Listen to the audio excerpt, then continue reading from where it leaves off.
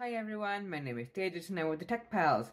Now, the Tech Pals is a 501c3 nonprofit organization. We help teach technology to seniors by providing Chromebooks and technology education materials. Now, today we're going to talk about how you can store your files in the cloud and access them from anywhere using the Tech Pals top pick for cloud storage services, which is Google Drive. Now, without further ado, let's get started by talking about what a cloud storage service is and how you can use one. What is the cloud? Cloud storage allows you to access your files easily on any device without physical media like USB drives or floppy drives. So, your cloud files can be accessed on laptops, desktops, and phones, and they can be accessed from anywhere where you have internet access in the entire world. So, today we're going to talk about the TechPal's top pick for cloud storage services, which is Google Drive.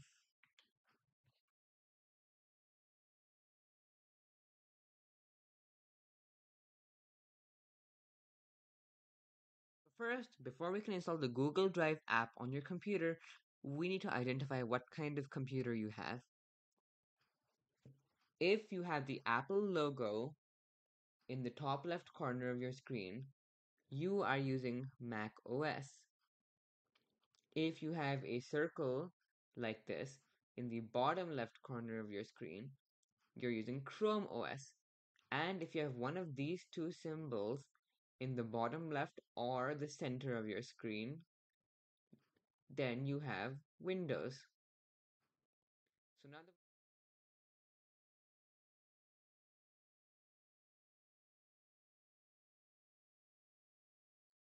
So let's start off by talking about Google Drive for Web.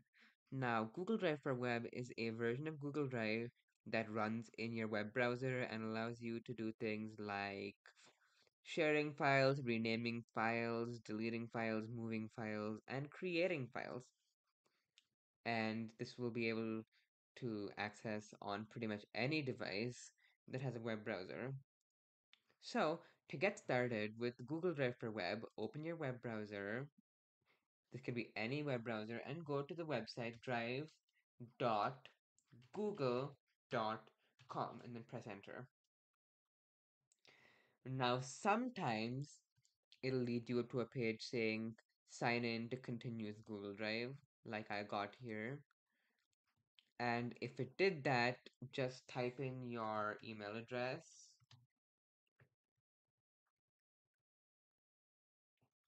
That ends in gmail.com. Now, if you do not have an email address that ends in gmail.com, please watch our how to use Gmail video. I'll put that in the description as well as up in the info cards. Now click next and type in your password. Then again, click next. And you'll be in. So this is the Google Drive web interface. Now, as you can see, we don't have any files right now. So let's get started by creating some files. To create a file, you have to press the button that has a plus and then the word new next to it. It's underneath the Google Drive logo at the top left of your screen. So you can click on that. Then click on the type of file you want to create. So let's say we want to create a Google Doc. Click Google Docs. So, and then you will be inside the Google Docs interface. So let's just type some stuff into our document like this is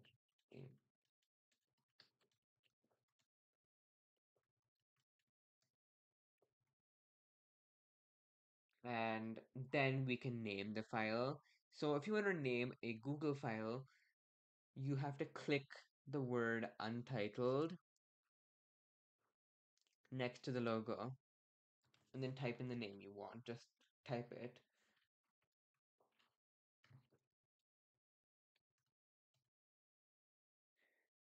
And then we have created a new document. So now if we navigate back to My Drive by clicking on the My Drive tab, you will see that TechPal's video, the file we just created, is now showing up in Google Drive. But what if you already have files and you want to upload them onto your Google Drive web interface? So to do that, again, you click the new button, but then instead of pressing one of the Google types, click file upload. And then choose the file. So let's say I have a file in desktop, old files, this file. So just click on the file you want to open and then click the word open. And as you can see, now the file that I wanted to upload is now available on Google Drive. So that's great, but if we just upload all our files, it'll get a little hard to find stuff. So now let's talk about methods of organizing your files, including eh, renaming them and using folders to separate them. So let's start by talking about the rename operation. So if you don't like the name of a file, you can change its name in Google Drive. And the way to change the file's name is by going to the very end of the file. You see the three dots? Click the three dots, then click the word rename. And then you'll see that you are able to rename. So just type in the new name. Just start typing as soon as you see rename. Like maybe you want to name it that. And then you can click enter. And once you click enter, you'll see a little message like that at the bottom telling you that your file's been renamed. So we can try that again using a different file. You click the three dots, you click rename, and you rename it. And now we have a renamed file, and we see the little message at the bottom left. But what if we want to organize them with folders? So folders can be used to separate your files into different categories of sorts. Let's say you have a lot of files related to one subject, you can put them in a folder, just like physical folders. So to create a folder, click the new button, but instead of clicking one of these, you click the word new folder. Now, as soon as you click new folder, you'll see a box with the word new folder in it. In here, you can just type the name of your folder. Maybe you want to call important stuff. Then you can click the word create. And we have a new folder. So great, we have a folder, but what if we want to put stuff in the folder? Well, that's easy. Just click the three dots, click organize, and then click move. Then you can click the word all locations, then choose my drive, and then click move next to the folder you want to move it to. So now if we go to that folder, we will see that the document is now in that folder. So now let's talk about what you want to do if you want to print a document. To print a document, just click on the document twice and then press Control and P at the same time. Then press Control and P again. So sometimes you'll have to do this twice to get this to appear. Sometimes you'll have to do this once. Then you can just choose your printer name and click print.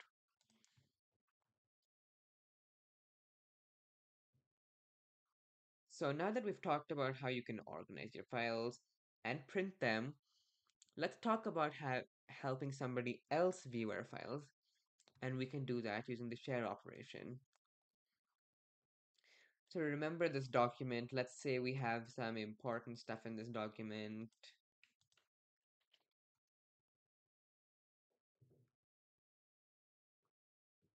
And we want somebody else to be able to see this. Well, that's pretty easy.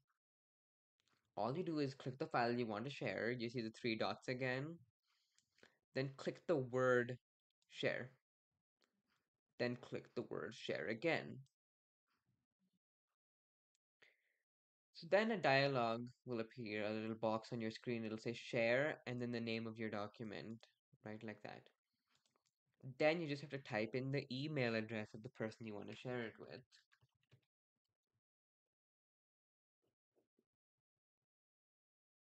Then press the enter key once it's finished. Then that side you'll see a box saying the word editor. Now, this allows you to choose the permission level, which is essentially what that person is allowed to do with your file once they get it. Whether they're allowed to edit it, or edit it with your permission, or only look at it. So there are three different types of sharing. There's editor, which means they can edit your file, they can make changes to it, they can rename it.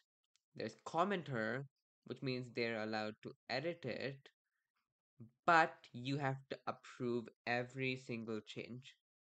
And then there's viewer, which means that the person who you're sending the file to cannot edit the file.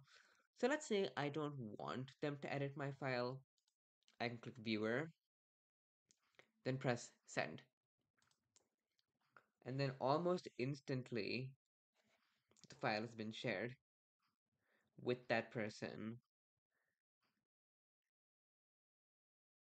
So now that we've talked about some of the basics of using Google Drive for Web, let's get started on the desktop apps which allow you to effectively manage your files straight from your file manager.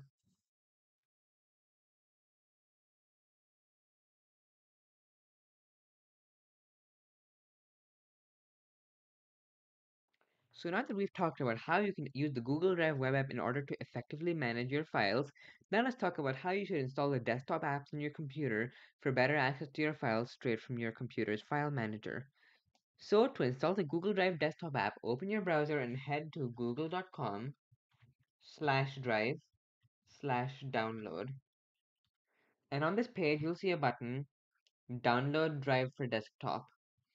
Click on the button and a file called Google Drive Setup.exe will start downloading. So you see a little arrow, click on it. And just wait for the file to finish downloading. Then double click on the file. And a dialog saying, Do you want to allow this app to make changes to your device will appear on screen. Select yes. And then click the install button on your computer screen. Then hit the launch button and wait for the Google Drive dialog to appear on your screen. Then press get started and then you'll see a button called sign in. Now I'm going to assume you've already logged in like we showed you how to in the Google Drive web section of the video. So if you've already logged in, you'll see your account name here. If not, go back to the Google Drive web section of the video in order to see how to log in. Then you'll see a make sure that you downloaded this app from Google. You downloaded it from Google, so just click sign in. Then close out of Chrome and automatically Google Drive should begin synchronizing your files. So it'll ask you to do some configuration, it'll ask you which folders you want to sync. For now, I would say sync your desktop and your documents. If you see something called merge the existing folder, just click continue. Then again, you might want to back up your pictures and click next and then click next again and finally open drive. So now Google Drive is done setting up. In order to start using Google Drive on your computer, open the File Explorer app on your computer and in the right sidebar of the File Explorer, click the Google Drive G colon button and then click My Drive, double click. So then you'll see your Google Drive and this will show up as regular files. So what if we had some old files that we want to transfer over to our Google Drive? Well, you can simply drag and drop them over like this. You can copy Control C and paste Control V, or you can right click and then hit the copy button here. Right click again and click the paste button at the bottom. It looks like that. And you can also create folders by right clicking new and you'll see a few options. You can see the option to create Microsoft documents. You can see the option to create Google documents and you can see the option to create a folder. So we're just to create a folder and name it like old files.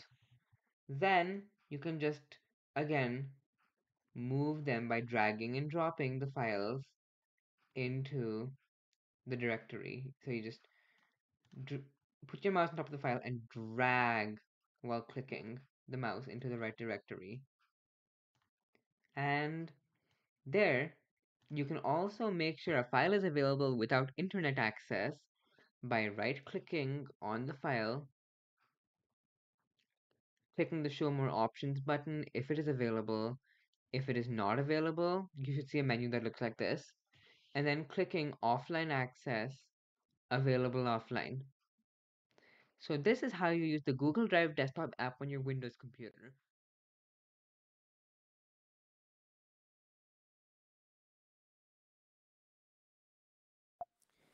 So now that we've showed you how to use the Google Drive app on web as well as installing Google Drive on Windows, now let's talk about how you can install Google Drive on Mac. So first open the browser and go to google.com slash drive slash download. Then you'll see a button saying download drive for desktop. Click on the button then click on the little arrow at the top right of your browser window. You will see Google Drive.dmg starting to download. So let's just wait for it to finish downloading before we start the installation process.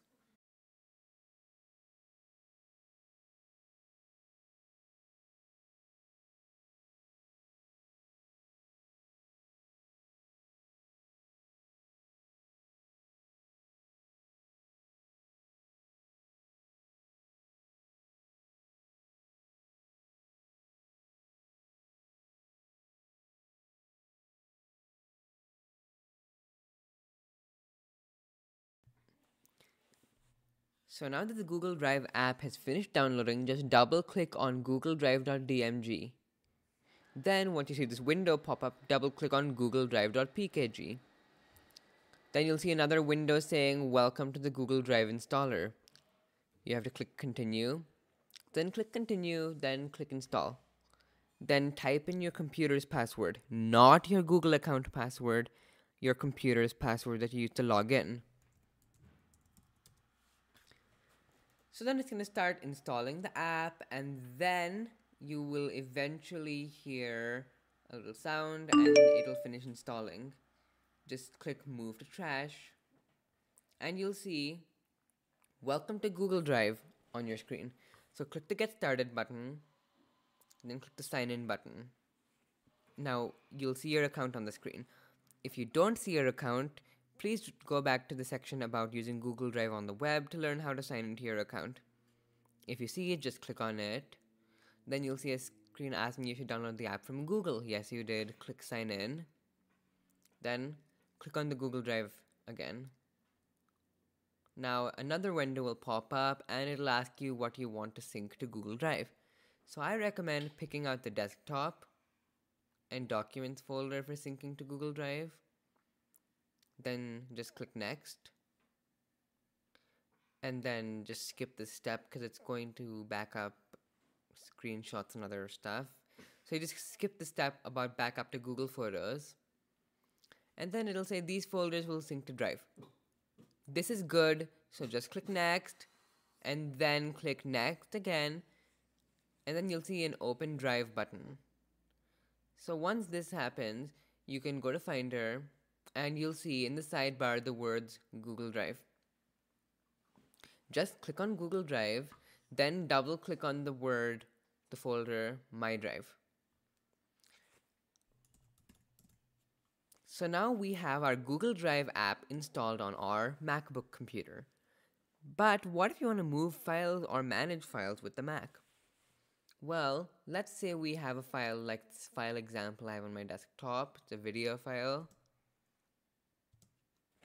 And we want to move it to Google Drive. Well, you can simply either drag and drop it like that and then just let go. Or you can do a right click, click copy, then go to my drive, do another right click and you'll see a paste item. Now if you're on a laptop, you do a right click by clicking with two fingers. If you're on a desktop, you do a right click by hitting the right mouse button. Now what if we want to create a new folder? Again, do a right click and you'll see the new folder entry at the top and you just type in the name of your folder there. And then we can drag and drop our video into testing or whatever you call the folder. Now, what if you want the file to be available so you can view it without internet access? Well, you simply right click the file and you'll see some actions at the bottom with the Google logo next to them. Just click the available offline button and you'll see a little check mark, green check mark next to the file. So that'll mean it's available offline.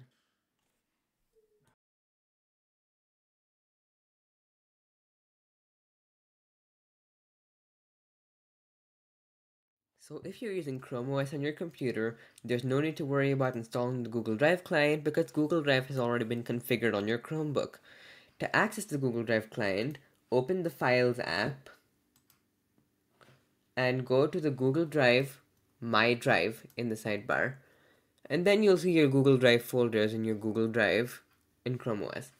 So let's say I had some other files like these that I wanted to move Again, you can simply drag and drop by clicking on the file and dragging the file over to Google Drive while it's held down. And you can do this off a USB stick or you can do this off your computer. To create a folder, just like on Windows, you can right click and create new folder and then type in the name of the folder. Like maybe I'm gonna call this Chrome OS.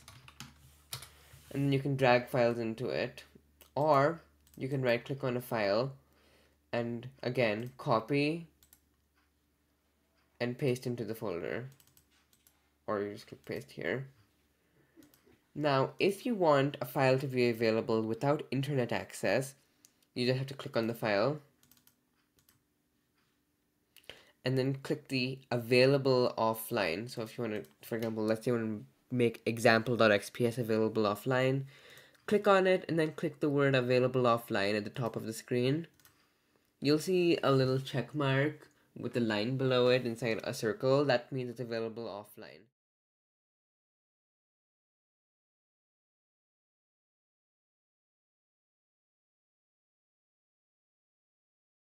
So now that we've talked about how you can use the Google Drive apps on desktop and on web, Let's talk about how you can access your Google Drive files from anywhere using your cell phone. So to get started, you need to download the Google Drive app on your phone. So just open the App Store or the Play Store and search for Drive. Now at the top, you will see Google Drive. If you see an install button, click on install. If you see update, click on update.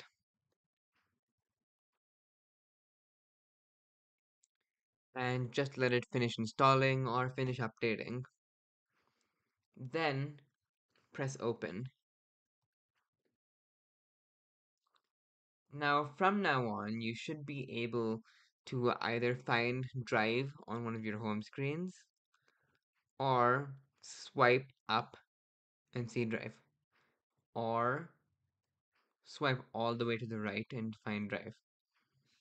So just open drive and you will see an interface you'll see four tabs on the bottom you'll see home which is just files that it's suggesting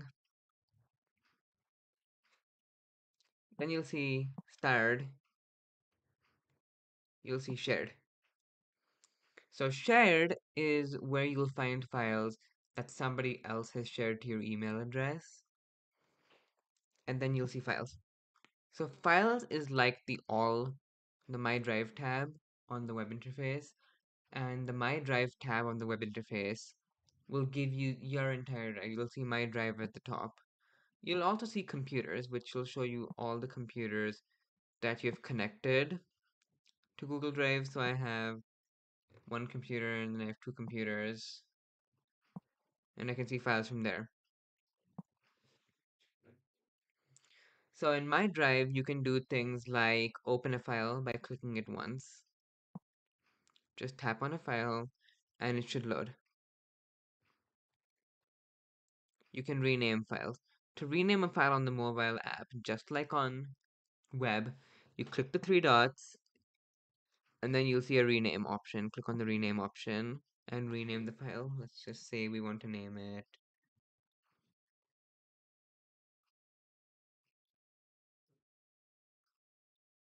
I'm going to name it that. And as you can see, the file name has changed. Or maybe we want to rename another file, we can do the same thing. Click the three dots, click rename and type the new name.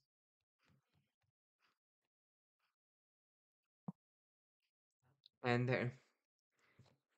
Now, what if we want to move files and create files?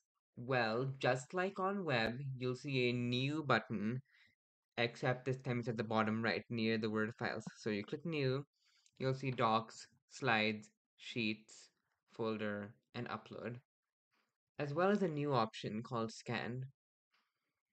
So let's say we want to create a Google Doc. You can just tap docs and you'll get your untitled document. You can type some stuff in it. And then you'll see the X. See, now we have a new document. Now, what if we want to move stuff? You can click the three dots again. Now you have to scroll down with one finger. So you scroll down to move. You click move, and then you click your folder and click move again. Now, what if we want to create a new folder? Just like on desktop, you can click new and then press the word folder. Then you type in the name.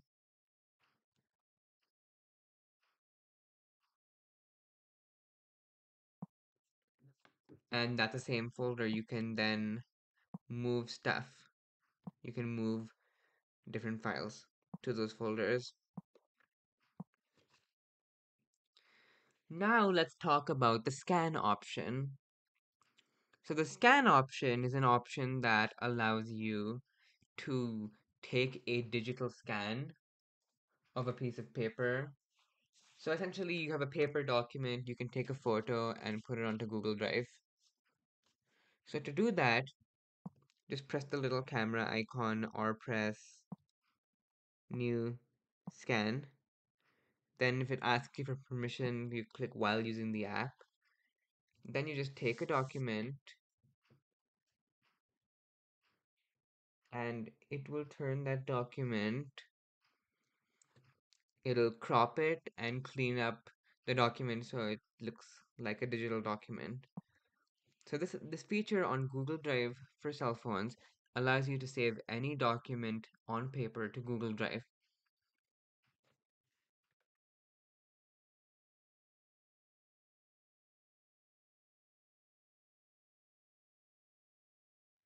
So thanks everyone for watching this video. If you enjoyed the video, remember to check us out at www.thetechpals.org or call us at 1-844-TechPals. Now, if you have any problem with any of the procedures I showed in this video, feel free to reach out to us and we'll be happy to help you. Thank you and enjoy your day.